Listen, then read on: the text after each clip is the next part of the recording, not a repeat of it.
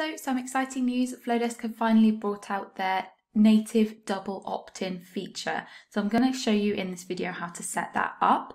So the very first thing that you want to do is go to your account um, little profile photo up here, hover over it and select brand preferences. Now I've just opened this up in another um, tab because at the very top of brand preferences is your address. Um, so I don't want you to see that. So I've scrolled down past my address on the brand preferences area here. And if you keep scrolling to the bottom, you should now see two new options. So first of all is your double opt-in email, and this is the email that gets sent out to people immediately after they've pressed that subscribe button on your sign up forms.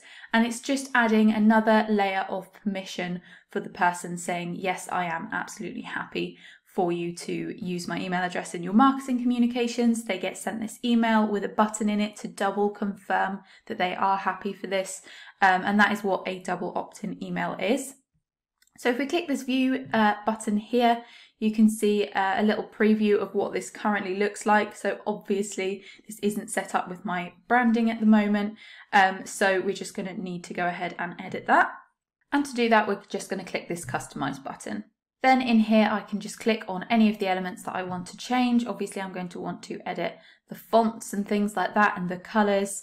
Um, you can edit the text as well, but the aim here is to keep it as simple as possible. Because remember that if you are setting up other workflows and automated emails in Flodesk, those are probably also going to be sent out at the same time. You don't want to overwhelm your subscribers with loads and loads of different information and emails with loads of text in. This email is purely just to confirm their subscription. Please don't make it too complicated. I would literally suggest just keeping it very similar in length to this default text, but obviously changing it to fit your brand if you need to.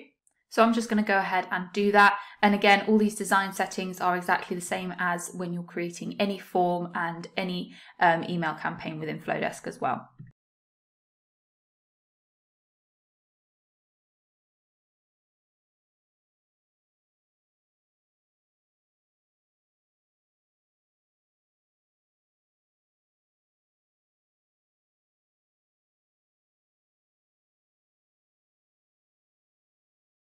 Okay, so I'm done customizing it now. Um, as I said, I've kept it really, really simple. You can view it on mobile preview here if you want to see how it would look. What I would also recommend doing is sending out a test email to yourself just to make sure that it's not going into spam or doing anything funky.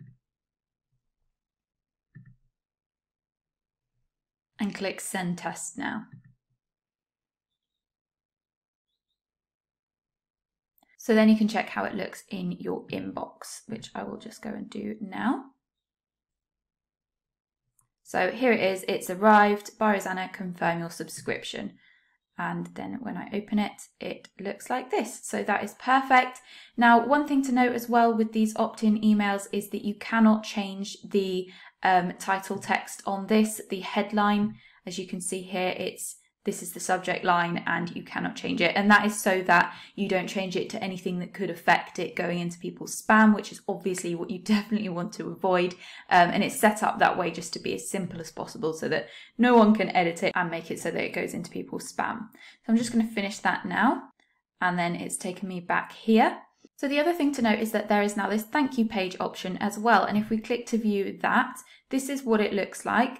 Um, basically, the thank you page is just basically a Flodesk uh, web page just that people are sent to once they click that join the list button in their double opt-in confirmation email. Um, they will get sent straight to this. It won't do it now because I am um, kind of in a preview area, but when people do land on this page, they will be able to click your logo up here and be able to go straight to your website as well. So um, again, this doesn't need to be anything fancy when you're editing it. It just needs to simply give people the message that they have actually double subscribed and they are now on your list. So again, you should have other workflows set up for freebies and other things like that in Flodesk that are going to be sent to people. So you don't want to overwhelm them with too much information. Just keep it simple. But again, you can customize it in here to fit your brand. So when you're editing this header as well, rather than just um, giving you just free reign with that, they have actually included some different options here for you, or you can completely customize it. It's um, completely up to you. There we go, that's all I want to do to mine. Again, I'm keeping it really, really simple and clicking finish.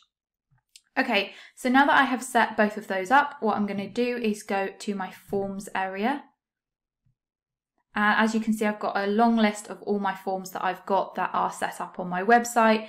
Um, most of these are actually attached to a workflow so that when people do click subscribe, they also get an automated email that's sent out in the workflow to receive some kind of freebie as well. But due to GDPR laws and regulations here in the UK and in the EU, it is still a good idea to make sure that all of your um, forms have got double opt-in enabled now that it is an easy option to do in Flodesk. So all you have to do to do that is click on the three dots that appear when you hover over your form, go to customize, and then the very first question it's going to ask you now is, should we enable double opt-in for this form? And then you want to just click yes.